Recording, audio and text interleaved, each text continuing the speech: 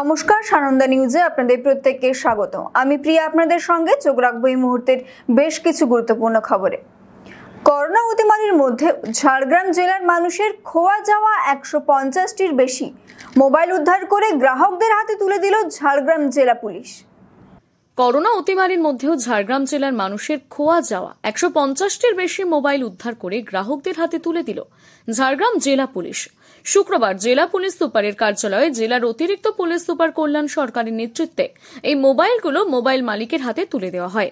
জেলা পুলিশের সূত্র মারফত জানা গিয়েছে, জেলা পুলিশের সূত্র মারফত জানা গিয়েছে, এ পর্যন্ত জেলার একশো পঞ্চাশটি মোবাইল সাফল্যের সাথে উদ্ধার করে গ্রাহকদের হাতে তুলে দিয়েছে ঝাড়গ্রাম জেলা পুলিশ।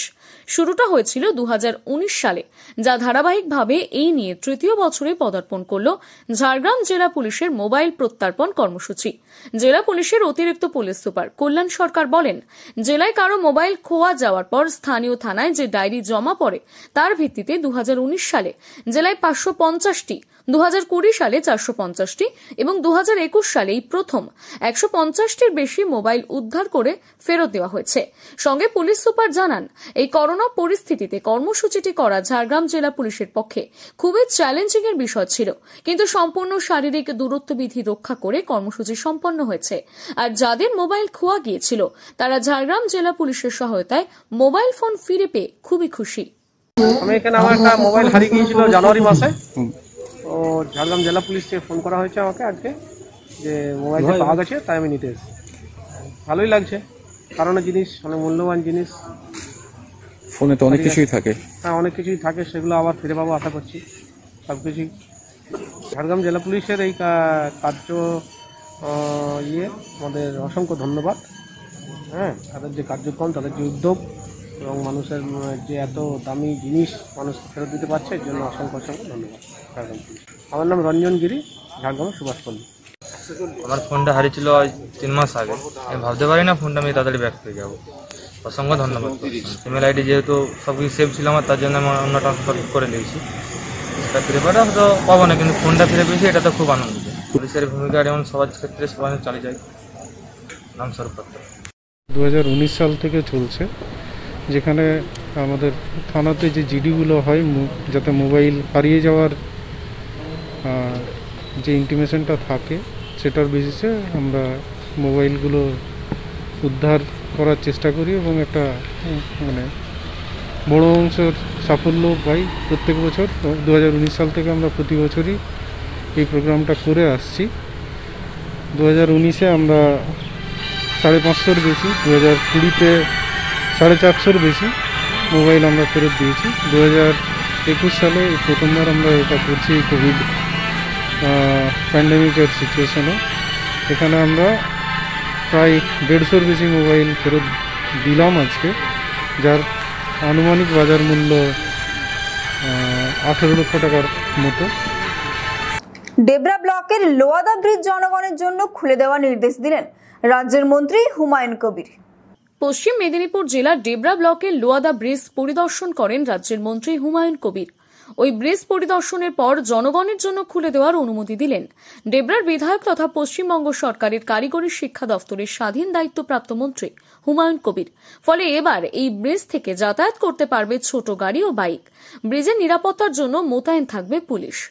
অভিযোগ, বাম আমল থেকে অসম্পূর্ণ অবস্থায় দীর্ঘদিন পড়েছিল এই ব্রিজ। যাতায়াতের সমস্যায় পড়তে হতো বহু মানুষকে। অবশেষে মন্ত্রী হুমায়ুন কবিরের চেষ্টায় লোয়াদা ব্রিজটি চালু হওয়ায় খুশি এলাকার বাসিন্দারা। এদিন লোয়াদা ব্রিজটি পরিদর্শন করার সময় মন্ত্রী হুমায়ুন কবিরের সঙ্গে উপস্থিত ছিলেন। খড়গপুর মহকুমার মহকুমার শাসক আজমল হোসেন ডেবরা থানার ওসি সহ স্থানীয় প্রশাসনের আধিকারিকগণ। আসতে পারে ওটার ভেতরে কিছুই ঢোকা যাবে না। রাস্তা যেটুকু খুলছে সেটুকু করতে হবে এবং সেটা খুব ইমার্জেন্সি নিচে যেমন ফেরি সার্ভিস সেটা ফেরি সার্ভিসটা চলবে। ওনারা যেভাবে টাইম টু টাইম যেভাবে ইনস্ট্রাকশন দেবেন সেইভাবে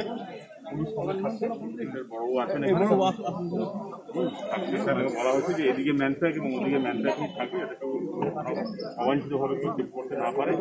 শুধু ইমার্জেন্সি কাজের জন্য চালু করা হচ্ছে। কিন্তু এটা আমাদের টার্গেট আছে যে ইনাগুরেশনের জন্য যে সেপ্টেম্বর মাসের ফার্স্ট বা সেকেন্ড উইকের মধ্যে এটা আমাদের মাননীয় মুখ্যমন্ত্রীকে এবং পিডব্লিউডি মিনিস্টার বিষ্ণু মোহন ঘটক তাকে জানিয়ে সেখানে আমরা ভালো করে ওপেনিং করব। তার কাজটা যত করা যায় সেটা দেখার জন্য আজকে আমরা এখন যেটা রেডি হয়েছে শুধু এক্সক্লুসিভলি ইমার্জেন্সি কেসের জন্য মানুষ যাবে। রাতের অন্ধকারে কাজ সেরে বাড়ি ফেরার পথে বালিগাড়ির ধাক্কায় কেশিয়ারির ভীমমেলা চকে। এক যুবকের মৃত্যুর অভিযোগ উঠল। ঘটনায় উত্তেজনা ছড়ালো এলাকায়। রাতের অন্ধকারে কর্মক্ষেত্র থেকে বাড়ি ফেরার পথে মর্মান্তিক পথ দুর্ঘটনায় মৃত্যু হল কেশিয়ারির এক যুবকের। বৃহস্পতিবার রাতে দুর্ঘটনাটি ঘটেছে কেশিয়ারির ভীম মেলাচক এলাকায়। মৃত যুবকের নাম দীপক দন্দপাট। বয়স তিরিশ বছর। বাড়ি কেশিয়ারির সাতটাপুর তিন নম্বর অঞ্চলের মান্দার এলাকায়। জানা গিয়েছে, মৃত যুবক অনুষ্ঠান বাড়িতে প্যান্ডেল বাঁধার কাজ করতে গিয়েছিলেন এদিন। কিন্তু বাড়ি ফেরার পথে ভীম মেলা চকেই দুর্ঘটনাটি ঘটে। রাত এগারোটা নাগাদ। কিন্তু বৃষ্টির জন্য দীর্ঘক্ষণ স্থানীয় যুবককে হাসপাতালে নিয়ে গেলে চিকিৎসকেরা তাকে মৃত বলে ঘোষণা করেন। ঘটনার জন্য মৃতের পরিবার বালিগাড়ির ওপর দোষারোপ করছেন। কারণ কেশিয়ারি এলাকায় রাত বিরেতে বালিগাড়ির দৌরাত্ম লেগেই থাকে। তাই পরিবারের অভিযোগ বালিগাড়ির চাকায় পৃষ্ঠ হয়ে মৃত্যু হয়েছে দীপক দন্দপাটের। তবে মৃত্যুর কারণ জানার জন্য কেশিয়ারি থানা তদন্ত শুরু করেছে। পাশাপাশি মৃতদেহ ময়না তদন্তের জন্য পাঠানো হয়েছে। কাজে কি কাজ করেন? প্যান্ডেলের কাজ টাজ করেন। আচ্ছা। এবারে কাজ হয়েছিল ওই বেলদাহিতে কাজ হয়েছিল। এবার কালকের আবহাওয়ার জন্য হয়তো আটকে গেছিল বেশি জোরের জন্য। তারপরে এগারোটার দিকে তো মানে জলটা ছেড়েছে। তারপরে হয়তো মানে বাড়ি ফেরার পথে এরকম ঘটনাটা ঘটে গেছে মানে প্যান্ডেলের কাজ করেন। প্যান্ডেলের কাজ করেন আর মানে আসার সময় কি এই ঘটনা সময় ঘটনাটা ঘটেছে। কটা নাগাদ হয়েছে? আমাদের যতদূর ধারণা প্রশাসনে বলছে যেটা এগারোটা পনেরো কুড়ির দিকে ঘটেছে। এবার আমরা খবর পেয়েছি একটার সময় যখন মানে হসপিটালে এসে। তো আমাদের যতদূর ধারণা ওই ডাম্পার গাড়ি এত পরিমাণে বেড়েছে যে মানে হয়তো সাইড দিয়ে মেরে দিয়ে পালিয়ে গেছে আর কি। এই মানে কালকের যা আবহাওয়া গেছে মানে প্রচুর জ্বর ঝড় এবং তার মধ্যে কেউ তো এই রাস্তায় ছিল না। কেউ মেরে দিলেও মেরে দিয়ে চলে গেছে আর কি গাড়ি। কি মনে করছেন? এই কি বালি ডাম্পার নাকি আমার তো অবশ্যই মানে ধারণা যে বালি ডাম্পারই হবে। কারণ বালি ডাম্পার এত পরিমাণে বেড়েছে তারাই মেরেছে। তারপরেও এই যে ভীমমেলা স্ট্যান্ডের উপরে সিমেন্ট গাড়িগুলো দাঁড়িয়ে থাকে ওই গাড়িগুলো একটা সাইড পুরো মানে কবজা করে নিয়েছে। তো সেই সাইডকে পাশ কাটতে গিয়ে এদিকে ডাম্পার এদিকে সাইড এবারে মাঝে হয়তো থেকে গেছে সেই থেকে হয়তো প্রতিনিয়ত বালিগাড়ির দৌড়াতে প্রতিদিন একটা না একটা ঘটনা মানে বারবার কি প্রশাসন- বলবেন প্রশাসনকে? প্রশাসনকে আর কি বলব? মানে বারবার তো আপনারাও প্রশাসনের সামনে তুলে ধরছেন আমরা আর প্রতিবাদ কীভাবে করব? প্রশাসন যদি এটার উপর না স্টেপ নেয় তো এত লকডাউনে বাস গাড়ি সব বন্ধ কিন্তু বালি গাড়ি ছাড়া আছে। এর থেকে আর কি বলব প্রশাসনের উপরে? আমাদের আর ভরসা নেই এরকম জিনিসে। পণ্যের দাম বৃদ্ধির প্রতিবাদে পথে নামল এসইউসিআই দল। সংগঠনের পক্ষ থেকে বেলদাতে মিছিলের পাশাপাশি প্রতীকীভাবে গ্যাস সিলিন্ডারে অগ্নিসংযোগও করা হয়। আন্তর্জাতিক বাজারে অপরিশোধিত তেলের দাম দিনের পর দিন কমলেও ভারতবর্ষে প্রতিদিনই পেট্রোল ডিজেল ও রান্নার গ্যাসের দাম বাড়ছে। এই অভিযোগে পেট্রোপণ্যের মূল্য বৃদ্ধির প্রতিবাদে শুক্রবার এসিও সিআই কমিউনিস্ট দলের পক্ষ থেকে বেলদা বাজারে প্রতিবাদ মিছিল সংগঠিত হয়। এসিও সিআই দলের মিছিলটি বেলদা কেশিয়ারি মোড় থেকে শুরু করে বেলদা ট্রাফিক স্ট্যান্ডে শেষ হয়। সেখানেই প্রতীকীভাবে গ্যাস সিলিন্ডারের অগ্নিসংযোগ করে বিক্ষোভ দেখানো হয় আন্দোলনকারীদের পক্ষ থেকে। সিলিন্ডারে অগ্নিসংযোগ করেন এসিও সিআই দলের পশ্চিম মেদিনীপুর জেলা কমিটির সদস্য পূর্ণ বেরা। তিনি বলেন, আন্তর্জাতিক বাজারে তেলের দাম কমলেও ভারতবর্ষের কেন্দ্রে মোদী সরকার পুঁজিপতি শ্রেণির স্বার্থে দিনের পর দিন পেট্রোপণ্যের মূল্য বৃদ্ধি করে চলেছেন। আংশিক লকডাউনে মানুষের জনজীবন যখন জেরবার, তখন এই ধরনের মূল্য বৃদ্ধি মানুষের কাছে তীব্র বোঝা স্বরূপ হয়ে দেখা দিয়েছে। পেট্রোপণ্য মূল্য বৃদ্ধির প্রতিবাদে পয়লা জুলাই থেকে সাতই জুলাই পর্যন্ত। এসিও সিআই কমিউনিস্ট দলের পক্ষ থেকে প্রতিবাদ সপ্তাহ পালিত হবে। এই দিনের কর্মসূচিতে উপস্থিত ছিলেন বংশী মণ্ডল ব্রতিন দাস, বিদ্যাভূষণ দে, কণিকা চক্রবর্তী, রবীন্দ্র মাইতি প্রমুখ। আমাদের দল গত পয়লায় জুলাই থেকে সাতই জুলাই পর্যন্ত ভারতবর্ষের প্রান্তে প্রান্তে এরকম আন্দোলনের কর্মসূচি চলছে, বেল্লায়ও পালিত হচ্ছে। সাত তারিখের পরে আমরা আমাদের সারা দেশের জনগণের কাছে আবেদন। আমরা জানিয়েছি, মূল্যবৃদ্ধি সহ সমস্ত কল কারখানা রাষ্ট্রায়ত্ত শিল্প ব্যাংক বিমা রেল থেকে শুরু করে ওই কর্পোরেট সেক্টরের হাতে নরেন্দ্র মোদী যে তুলে দিয়েছে, তার আক্রমণ আজকে জনসাধারণ তার হারে হারে আজকে অনুভব করছেন। গরিব বাড়ির ছাত্রছাত্রীদের শিক্ষাদানের অভিনব উদ্যোগ নিল পশ্চিমবঙ্গ তৃণমূল প্রাথমিক শিক্ষক সমিতির গড়বেতা তিন নম্বর ব্লক শাখা। সংগঠনের উদ্যোগে এলাকায় উদ্বোধন হল দুয়ারে পাঠশালা শিবির। করোনা লকডাউনের কারণে রাজ্যের সমস্ত শিক্ষা প্রতিষ্ঠান প্রায় দেড় বছর ধরে বন্ধ রয়েছে। স্কুল বন্ধ থাকার কারণে মূলত গরিব পিছিয়ে পড়া পরিবারের ছাত্রছাত্রীরা ক্ষতিগ্রস্ত হচ্ছে শিক্ষার দিক থেকে। এহেন পরিস্থিতিতে শুক্রবার। পশ্চিম মেদিনীপুর জেলার পশ্চিমবঙ্গ তৃণমূল প্রাথমিক শিক্ষক সমিতির গড়বেতা তিন নম্বর ব্লকের পাঁচ নম্বর সাতবাঁকুড়া অঞ্চল অধীনস্থ সংখ্যালঘু সম্প্রদায় অধ্যুষিত নবকোলা গ্রামে বিশেষ শিবির উদ্বোধনের মধ্য দিয়ে দুয়ারে পাঠশালা কর্মসূচির শুভ সূচনা হয়। সংগঠন সূত্রে জানা গিয়েছে, আগামী দিনে ব্লক এলাকার প্রতিটি অঞ্চলে বিশেষত আদিবাসী এবং সংখ্যালঘু অধ্যুষিত পিছিয়ে পড়া এলাকাগুলিতে যথাযথ স্বাস্থ্যবিধি মেনে অন্ততপক্ষে পঞ্চাশটি দুয়ারে পাঠশালা শিবির হবে, যেখানে শিক্ষক, শিক্ষিকাবৃন্দ, শিক্ষার্থীদের পড়াশুনোর ব্যাপারে খোঁজ খবর নেবেন। তাদের শিখনে অগ্রগতি সৃজনশীল কর্মকাণ্ড, খেলার ছলে শিক্ষা এবং আনন্দময় পাঠের ব্যবস্থা করবেন বলেও জানা গিয়েছে। শিক্ষক ও যুবকদের এই ভূমিকায় খুশি এলাকার কচি কাঁচা শিশু শিক্ষার্থী সহ স্থানীয় মানুষ এবং অভিভাবকবৃন্দ। শুক্রবার তৃণমূলের শিক্ষক সংগঠনের দুয়ারে পাঠশালা উদ্বোধন কর্মসূচিতে উপস্থিত ছিলেন শিক্ষক অমিত উপাধ্যায়, যদুনাথ খাড়া, লক্ষ্মীরাম কিস্কু, বাণীব্রত চৌধুরী প্রমুখ। মমতা বন্দ্যোপাধ্যায়ের আদর্শে দীক্ষিত হয়ে মামাটি মানুষের সরকারের অনুপ্রেরণায় দুয়ারে সমস্ত কিছুকেই আমরা দুয়ারে পৌঁছে দিচ্ছি এই কোভিড অতিমারির মধ্যে দাঁড়িয়ে। ঠিক একইভাবে ছেলে মেয়েদের পড়াশোনার খোঁজ খবরের নিতে তাদের অগ্রগতি, তাদের পড়াশোনার ধারাবাহিকতা বজায় রাখার জন্য আজ আমরা দুয়ারে হাজির পশ্চিমবঙ্গ তৃণমূল প্রাথমিক শিক্ষক সমিতির শিক্ষক মহাশয়রা। আর পশ্চিমবঙ্গ তৃণমূল প্রাথমিক শিক্ষক সমিতি মানেই শিক্ষা অঙ্গনে আলোর দিশা আনা। পশ্চিমবঙ্গ তৃণমূল প্রাথমিক শিক্ষক সমিতি জানেন, দীর্ঘদিন ধরে শিক্ষা, শিক্ষার্থী, শিক্ষক, শিক্ষিকাদের স্বার্থে শুধুমাত্র আন্দোলন করে এসেছে তা নয়, একেবারে অঙ্গাঙ্গিভাবে মা মাটি মানুষের স্বার্থে কাজ করে চলেছে এমন একটা শিক্ষক সংগঠন। তাদের বিশিষ্ট শিক্ষকদের একটা মহতি উদ্যোগ হচ্ছে দুয়ারে পাঠশালা। আমাদের কর্মসূচি এইভাবেই চলবে। পাঁশকুড়ায় দিগলাবাড় এলাকায় বালি বোঝাই লরি নিয়ন্ত্রণ হারিয়ে সজোরে ধাক্কা মারল খাবার দোকানে। ঘটনায় মৃত একজন ও আহত তিনজন। সাত সকালে পাঁশকুড়ার দিগলাবার এলাকার ছয় নম্বর জাতীয় সড়কের ওপর ঘটল ভয়াবহ দুর্ঘটনা। একটি বালি বোঝাই লরির নিয়ন্ত্রণ হারিয়ে ধাক্কা মারল একটি খাবারের দোকানে। ঘটনায় একজনের মৃত্যু হয়েছে, তিনজন গুরুতর আহত অবস্থায় হাসপাতালে ভর্তি। আশঙ্কা করা হচ্ছে এখনও কয়েকজন গাড়ির নিচে চাপা পড়ে রয়েছে। দুটি ক্রেন দিয়ে যুদ্ধকালীন তৎপরতায় চলছে উদ্ধারের কাজ। ঘটনাস্থলে পৌঁছেছে পাশকুড়া থানার পুলিশ। জানা গিয়েছে বালি বোঝাই লরিটি খড়গপুর থেকে কলকাতা যাওয়ার মুখে পাশকুড়ার দিগলাবার এলাকায় এই দুর্ঘটনাটি ঘটায়। নাম কি? মেয়েটার নামটা জানিনি বাবার নামটা আছে নারায়ণ ঘোড়াই। নারায়ণ ঘোড়াই। কদিন আগে বিয়ে মানে কদিন একুশ তারিখে একুশ তারিখে বিয়ে আছে। আর তিন চার দিন বাকি আছে। তাহলে যার বিয়ে যে সে মারা গেল। হ্যাঁ সেই মারা গেছে বাকিটা? বাকি তার বোনটাকে তো হসপিটালে পিকুর হসপিটাল নিয়ে গেছিল। ওখান থেকে আবার তমলুক নিয়ে গেছে হসপিটালে আপনার নাম? আমার নাম বাবলু সামন্ত। এই জায়গাটা? বুঝলে আবার সঙ্গে থাকুন ফিরছি একটি বিজ্ঞাপন বিরতির পর। দেখতে থাকুন Sananda News. Mina Steel Emporium. নতুন রূপে এলো খাজরা হাসপাতালের পেছনে। নিয়ে এলো আলমারি ড্রেসিং টেবিল সোফা আলনা খাট পালঙ্ক চেয়ার টেবিল ও অফিস আসবাবপত্র। স্টিল কাঠ এবং ফাইবারের যাবতীয় আসবাবপত্র সুলভ মূল্যে গৃহস্থের জীবনে।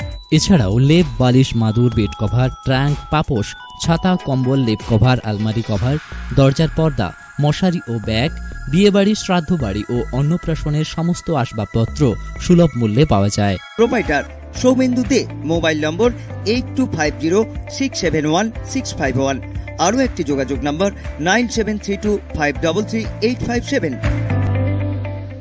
প্রকৃতিকে সম্পূর্ণ নিয়ন্ত্রণ সম্ভব নয়, কিন্তু প্রকৃতির সঙ্গে ভারসাম্য রক্ষা করে জীবনযাপন করা যেতেই পারে। আর এই পথের সন্ধান দেয় সনাতন জ্যোতিষশাস্ত্র আচার্য প্রলয় চক্রবর্তী যিনি সম্পূর্ণ বিজ্ঞান ভিত্তিক পদ্ধতিতে বিচার বিশ্লেষণ ও প্রতিকার করেন, পদ্ধতিগুলি হল কোষ্ঠী বিচার, সংখ্যাতত্ত্ব বাস্তুবিচার হোরারি, আধুনিক ট্যারট কার্ড, হস্তরেখা ফেংশুই চেম্বার করেন প্রতি সপ্তাহের বুধবার ও বৃহস্পতিবার নিজ বাড়ি। দেউলি বেলদা হাসপাতালের কাছে। কলেজ যাওয়ার রাস্তায় সকাল সাতটা থেকে রাত্রি আটটা পর্যন্ত। এছাড়া চেম্বার করেন আদিবাড়ি ঠাকুর চকে পেঞ্জিয়া রিক্রিয়েশন ক্লাবে প্রতি সপ্তাহে সোমবার ও শুক্রবার সকাল সাতটা থেকে সন্ধ্যা সাতটা পর্যন্ত।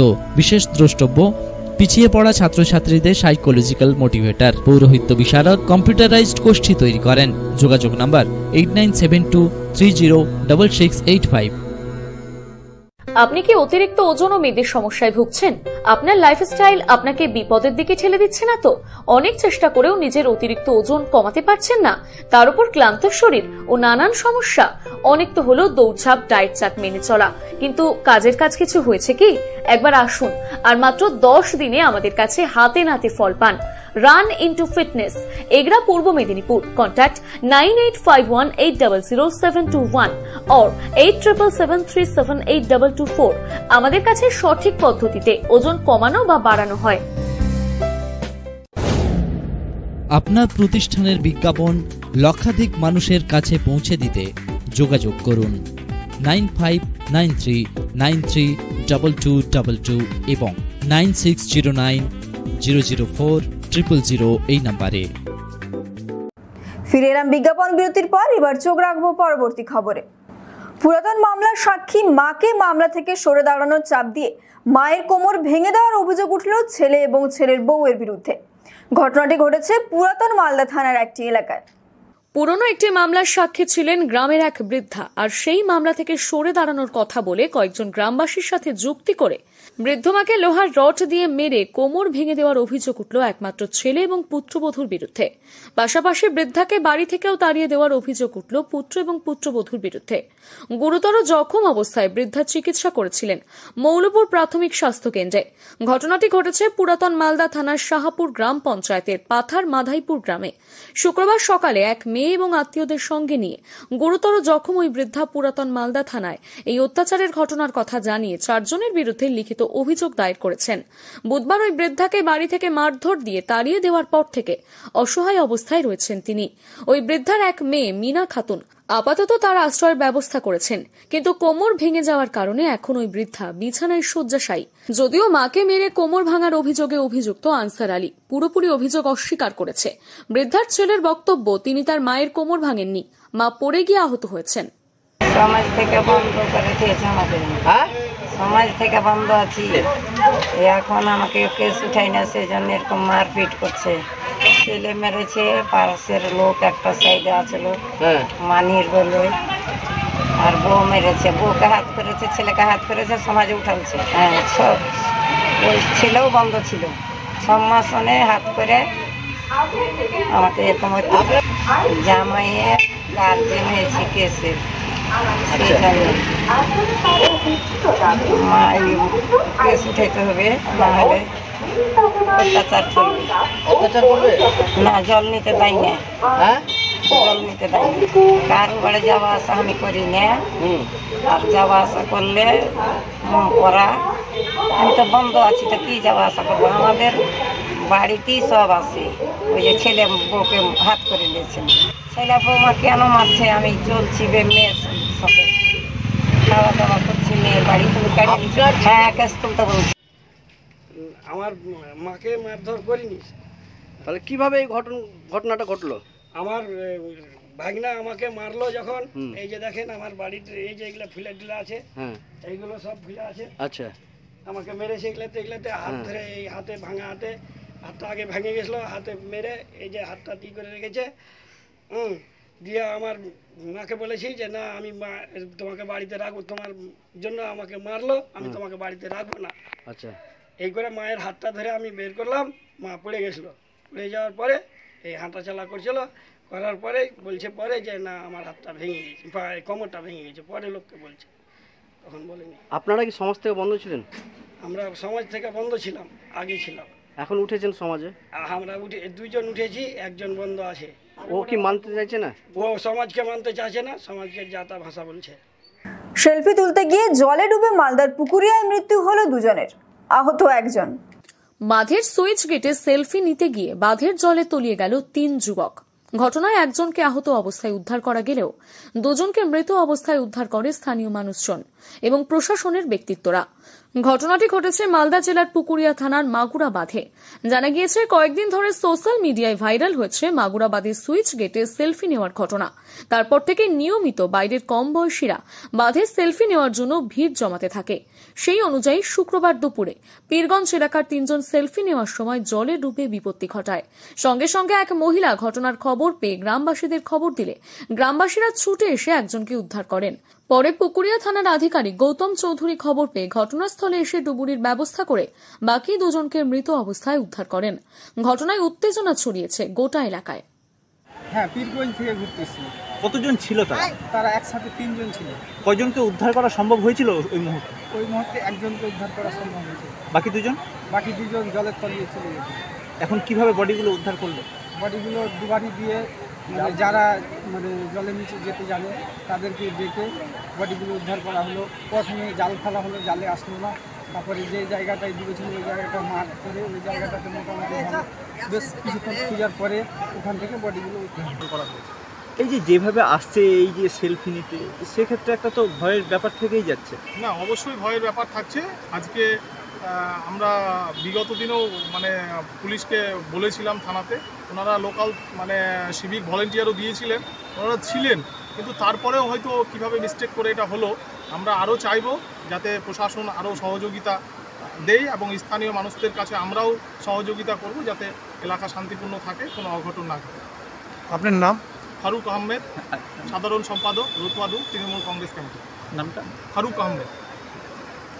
জীবিত বৃদ্ধাকে মৃত বলে রেশন না দেওয়ার অভিযোগ উঠল রেশন ডিলারের বিরুদ্ধে। ঘটনায় উত্তেজনা ছড়ালো মালদার হরিশ্চন্দ্রপুর এলাকায়। জীবিত রয়েছেন বৃদ্ধা। কিন্তু মৃত বলে ঘোষিত রেশন তালিকায় মিলছে না রেশন। মৃত বলে ঘোষণা করার অভিযোগ রেশন ডিলারের বিরুদ্ধে। এই নিয়ে অভিযোগ দায়ের হয়েছে বিডিওর কাছে। খতিয়ে দেখার আশ্বাস বিডিওর। ঘটনাটি ঘটেছে মালদাহ জেলার হরিশ্চন্দ্রপুর এক নম্বর ব্লকের অন্তর্গত মহেন্দ্রপুর গ্রাম পঞ্চায়েত এলাকায়। এই এলাকার বাসিন্দা জেলেখা বেওয়া, বয়স আশি বছর। দিব্যি হেঁটে চলে বেড়াচ্ছেন, আগে রেশন পেতেন, কিন্তু কয়েক সপ্তাহ ধরে পাচ্ছেন না। ওই এলাকার রেশন ডিলার জহুর আহমেদ। অভিযোগ, ওই ডিলার বৃদ্ধাকে রেশনের তালিকার মৃত বলে ঘোষণা করেছেন। এছাড়াও গ্রামবাসীরা ওই ডিলারের বিরুদ্ধে কম পরিমাণে রেশন দেওয়ার অভিযোগ তুলেছেন। অভিযোগ, সরকার যতটা রেশন পাঠাচ্ছে ততটা দেওয়া হচ্ছে না। এক কেজি কম করে চাল, গম দেওয়া হচ্ছে। এমনটাই অভিযোগ গ্রামবাসীদের। এদিকে অভিযোগ খতিয়ে দেখার আশ্বাস দিয়েছেন খাদ্য সরবরাহ দপ্তরের ইন্সপেক্টর। আর রেশন ডিলারের দাবি, ওই লিস্টে বৃদ্ধার নাম দেখাচ্ছিল না। তাই তিনি বলেছেন, আর তিনি সরকারের সার্কুলার অনুযায়ী রেশন দেন। ওই বৃদ্ধার ছেলে জালাল উদ্দিন বলেন, আমার মা বেঁচে আছে, কিন্তু দুই সপ্তাহ ধরে রেশন পাচ্ছে না। রেশন ডিলার বলেছে তালিকায় তার মায়ের নাম নেই। এছাড়া ওই ডিলারের বিরুদ্ধে কম খাদ্যদ্রব্য দেওয়ারও অভিযোগ রয়েছে। খাদ্য সরবরাহ দপ্তরের ইন্সপেক্টর রিঙ্কু বিশ্বাস বলেন, অভিযোগ পেয়েছি, খতিয়ে দেখা হবে, কিন্তু কম রেশন দেওয়ার অভিযোগ আমি পাইনি। তবে যখন শুনলাম শতপ্রণোদিতভাবে আমি নিজে দেখব। রেশন ডিলার কাউকে মৃত ঘোষণা করতে পারেন না। ঘটনাটা কি হয়েছে সঠিকভাবে দেখতে হবে। কিন্তু আমার মা গেছিল হুস- ইয়েতে দিদার বাড়িতে? দিদারকে বল বলল যে ভিতর বেলে তুমি তোমার মৃত্যু হয়েছে তোমার মাল হবে না তোমার নাম নাই। তো ওই জন্য মানে কমপ্লেন দেওয়া গেছে ওখানে আর এই তো করেছে আর কি হবে? তা আপনার মা কি মারা গেছে? না বাঁচে আছে তাহলে কি করে মৃত্যু ঘোষণা হয়? কে জানি আর যে কে কি করল না করল মৃত্যু ঘোষণা হয়েছে। আচ্ছা বলছি মৃত্যু হয়ে গেছে? হ্যাঁ বলছে মৃত্যু হয়ে গেছে। তালিকায় নাম আছে? তালিকায় তালিকা হ্যাঁ তালিকায় তো আমি বলতে পারছি না তো, কিন্তু মা বেঁচে আছে এখন তো। রেশন কার্ড এই এই চাল পাতাম আটা পাতাম আর তেল পাতাম। কতদিন ধরে বন্ধ আছে? এই দু সপ্তাহ হলো। দু সপ্তাহ হলো। দু সপ্তাহ হলো যে মানে তখন বলছে নাম কেটে গেছে। পেপা বলে একজন বৃদ্ধা মহিলার আপনি মৃত বলে ঘোষণা করে দিয়েছেন রেশনের চাল মাল দিচ্ছেন না। কি বলবেন এই ব্যাপারে? এই ব্যাপারে বলছি যে ওই জুলেখা বেওয়ার নামে যে কার্ডটা আছে আমরা মেশিনে শো হচ্ছে না। এই জন্য আমরা বলেছি যে মেশিনে শো হচ্ছে না যে তুমি অনলাইনে চেক করে দেখো। এই কথাই বলেছি আর আমরা কি নাম ক্যান্সেল করতে পারি মৃত্যু বলে ঘোষণা করতে পারি? আপনার বিরুদ্ধে আরও অভিযোগ উঠছে যে আপনি চাল কম দিচ্ছেন এক কিলো দু কিলো করে কম থাকছে।